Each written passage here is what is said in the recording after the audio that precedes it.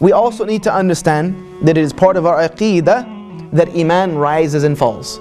You have to understand that or you're going to always think that you, you're a hypocrite. And if you do always think you're a hypocrite, it's a sign of Iman as well. It's a sign of Iman. Don't always beat yourself up because you think you have become a hypocrite.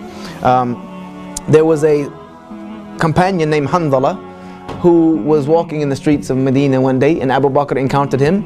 Assalamu alaikum ya Handala. He said, stay away from me because I have become a hypocrite. I have become a hypocrite, so please stay away from me. Save yourself from my, my nifaq. Abu Bakr is like, what?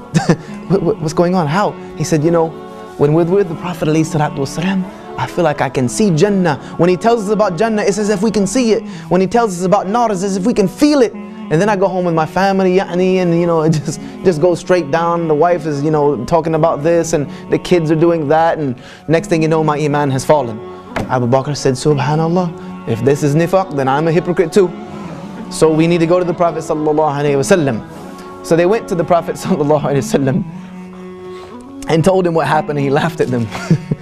he laughed at them. He said, you know, if you were like you are when you're with me all the time, meaning if your iman was so high like you are, you know when you're playing Taraweeh Salah, how your iman is floating through the roof. He said, if you're like that all the time, then angels would leave the heavens and come down on earth and shake hands with you and give you glad tidings of Jannah every day. It's not like that. He said Iman rises and falls. Rises and falls. The thing we need to try to fix though is that it doesn't fall to the point to where we fall into sin.